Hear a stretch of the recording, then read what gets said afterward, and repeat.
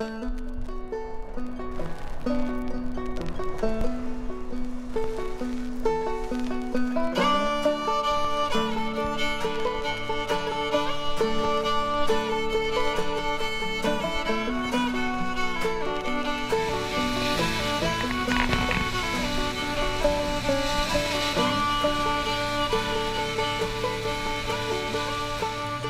what got you started working on the water?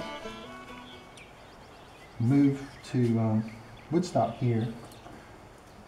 Like I say, I was born and raised on the water up in Virginia. Did a lot of crabbing, stuff like that. But then when I got here, um, I started net fishing on the side a little bit, just for play, recreational. And then, and that went well, and I got addicted to it. Then I like to fix up boats and stuff, so I fixed up, I bought a boat and was gonna fix it up and, and traded it for a commercial fishing license. So then I started fishing on the side, on the evenings after work. And that's what I do now. How much do you do that, like on a regular basis? Um, in the spring and spring and the fall is the biggest time of the year that I do a lot of fishing.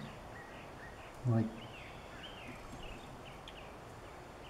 every day, every evening. Um, I'll go check nets and set nets back, and then and then sometimes I go um, check.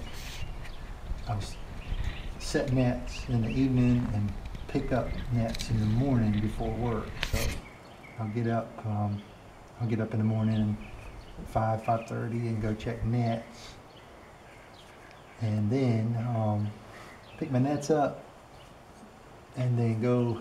I have to be at work by seven thirty. So I do all that in the dark sometimes. A lot of times in the dark especially in the spring and the late fall and winter months. And then um, every day, just